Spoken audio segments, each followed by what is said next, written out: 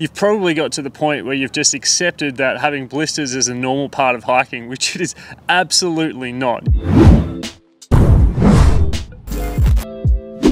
So welcome or welcome back to the channel. My name is Chase. This is all about preparing your mind and your body and your gear for the mountains so you can get out there, challenge yourself and have a good time. And a good time on trail starts with having an environment within the shoe that is not causing you hot spots or blisters or creating an environment that is, for the lack of a better word, moist. So if you're experiencing any of those things and your feet aren't quite comfortable, if you haven't found the right sock for you yet, then I would encourage you to look at these five boxes that you should tick when you're looking at hiking socks. This is the very sock that I used to hike 820 kilometers and ascend and descend the equivalent of eight Mount Everests in about a month and they performed extraordinarily well.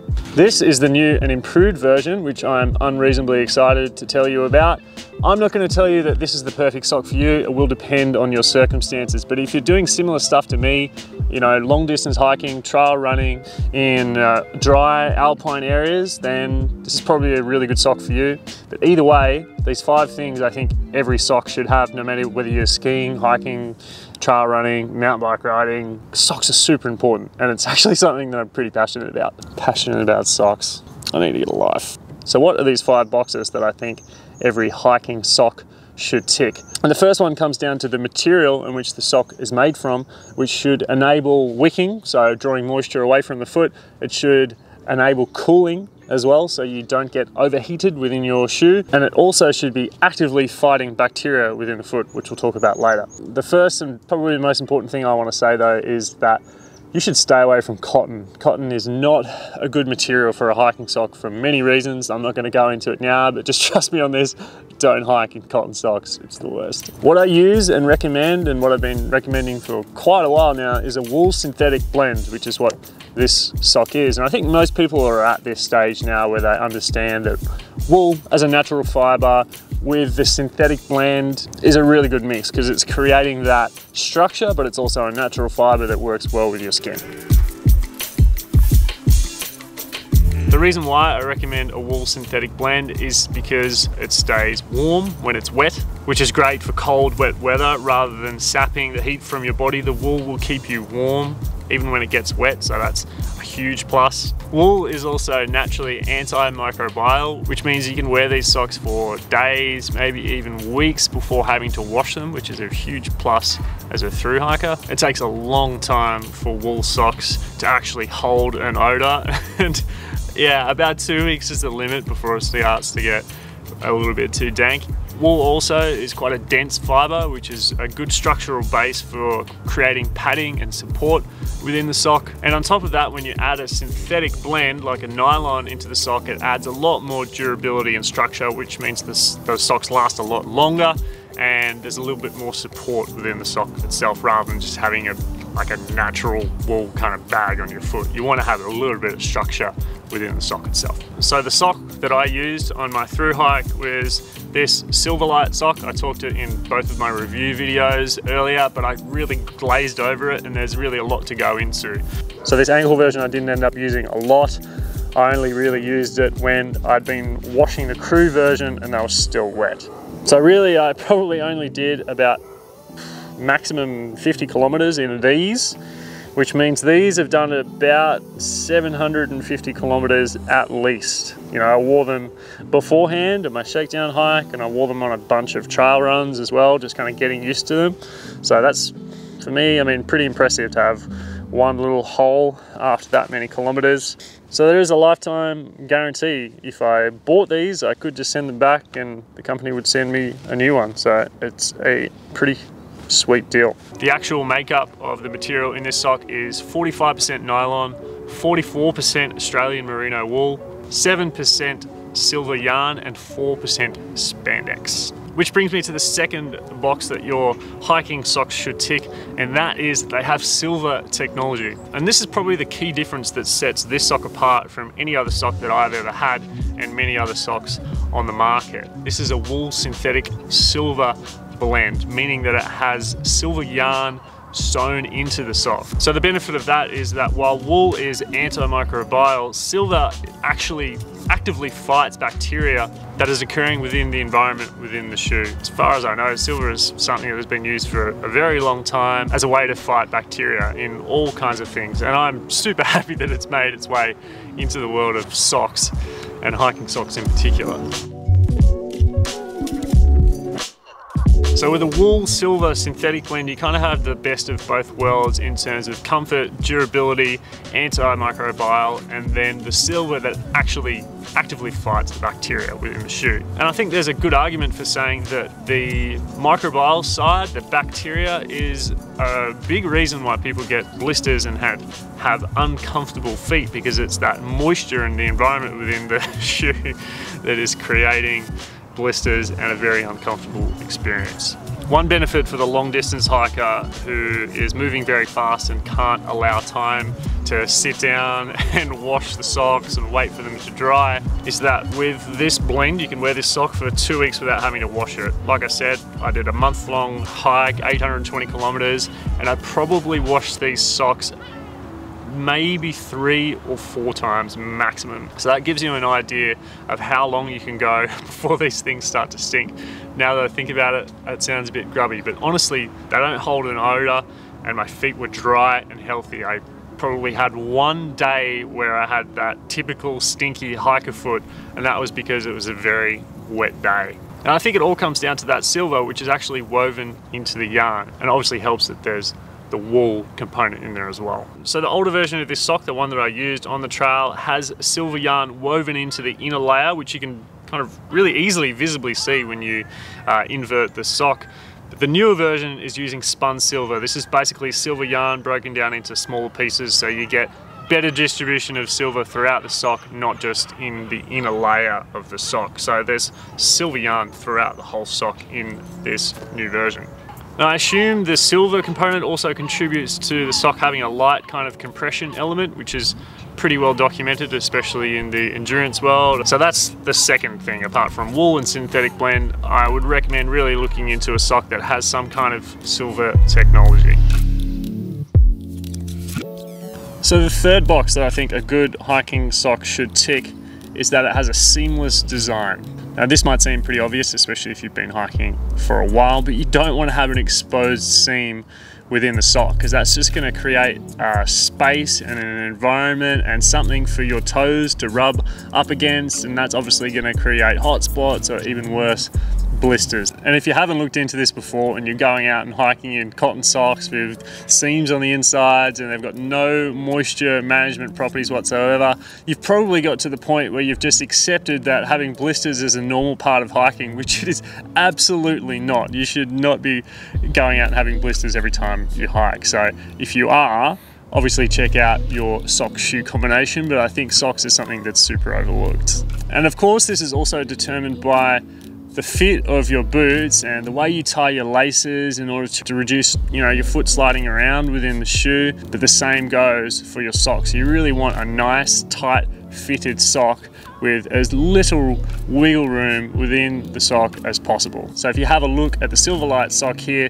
the only noticeable seam that I can see is runs across the top of the toes here. And if you invert the sock, have a look at it from the inside, there is barely any evidence of a seam within the sock and it's a pretty intelligent place to put the seam as well. You can just tell that they've thought a lot about the way that this sock is designed, which I just really love uh, because when you're walking, you know, 800, 1,000, 2,000 kilometers, socks just become more and more and more important.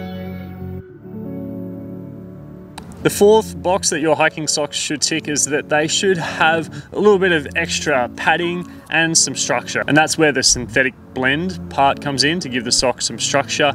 The 7% spandex, I'm guessing would be in the midfoot here, which helps to really cinch the sock through your arch so you get a really nice tight fit. And I imagine there's probably some spandex round through the upper ankle here as well. But obviously you want to have some extra padding especially around the heel and around the forefoot where the sock is going to have a little bit of extra cushion for the push-in One thing I noticed and something I love about the Silverlight sock is that that padding runs over the top of the toes near the seam there. Because not only do you want padding on the heel and the bottom of the forefoot where there's a lot of pressure obviously, but you also want some padding on the top because it's quite common in a lot of shoe and boot designs to have a very narrow uh, front of the boot, which squishes the toes together, which is another thing I don't like, but that's happening whether you know it or not. And so that's where you're getting a lot of rubbing and friction on the top of your toes. And if you've ever had a blister on the top of your toes, you're probably cringing right now because it is not something you want, especially on a long distance hike. The fifth and final thing that I would be looking for in a good hiking sock is that it is anatomically shaped, meaning that the sock is designed specifically for the left or the right foot. So you can see when you have an anatomically shaped sock that the left and right sock is completely different. Obviously you have tapering on the inside here, just like the shape, the shape of your foot.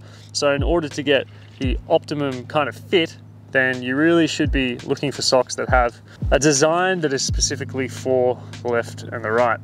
Your left and right foot are inherently different. They're actually the opposite. They're the mirror image of one another. So if you're wearing a hiking sock that is not specifically designed for the left and the right, then you're simply not getting the optimum fit for your foot. Now, this is something that has been updated in these socks. The original version that I wore, I believe, wasn't anatomically shaped. Still a great sock, amazing, but that was one of the things that I sent uh, back in my early kind of reviews for this company as advice that I hoped they took on, and I'm super glad that they did because the anatomical thing does make a big difference to me. So I'm really glad to see now that this newer version that they've brought out has a left and the right. Now, Unfortunately, they haven't marked them left and right. Uh, they've marked the size with L. So if you do get a pair of these socks, you'll see that the left one has venture on the inside and then the right one has out on the outside. So uh, Ralph, uh, Silverlight guys, if you're watching this, just put left and right. Make it easy for us so we don't have to work out the puzzle to figure out which socks to put on which foot. So having that different anatomical shape for left and right it really gives you the most snug fit to your foot that minimizes any slipping or bunching that could potentially happen, especially when you're on, uh, when you're traversing side sort of slanting terrain where you're potentially off trail you'll notice that your socks will tend to slip and move and bunch around when you're on tricky terrain like that. So the better fit that you have, you're far less likely to end up with hot spots and blisters and general discomfort when you're out on the trail. There's really not a lot of hikers talking about in detail about their socks that they're using, so that's why I wanted to make this video. If you are interested in checking out the sock, then go on the website and have a look because there is a wealth of information on the site, tons more information, things that I couldn't fit into this video, a lot of detail. And on the website, you'll notice there's a couple of other really good reasons why you should get a pair of socks from Silverlight. Firstly, I have a lifetime guarantee. It is a stupidly incredible guarantee. You can send a pair of socks back at any time for no reason at all and they'll send you a new pair. So that's pretty impressive. I don't know how they're getting away with it, but they're offering it. There is also worldwide free shipping on this sock, so you can get a couple of pairs. You can get one pair if you like, and they'll send it to you no matter where you are in the world. Again, that's pretty impressive. They're also a company that is very kind to the environment. I think this is really the bare minimum that outdoor companies should be doing now, which is great to see, don't get me wrong, but these guys are planting a tree for every purchase sold. They're also using recycled nylon rather than just like fresh nylon, which, which is obviously pretty wasteful when you can just use recycled nylon. So I'm super psyched that they're doing that. You might be wondering where they're made. They are made in China. I wouldn't be surprised anything that is made with a high level of precision and involving a lot of technology, particularly in fabrics and materials, it's probably coming out of China. The reason why is because the machines that spun this silver yarn, there's only about three of them in the world, and I think all three of them are in China. So if you're looking for a high quality sock, more than likely it's going to come from China. I mean, yes, globalization sucks, but what are you going to do about it? Uh, by all means, buy local, but don't expect this kind of quality. So here's the deal. I'm not getting paid to do this. Uh, these guys sent me this sock about a year ago.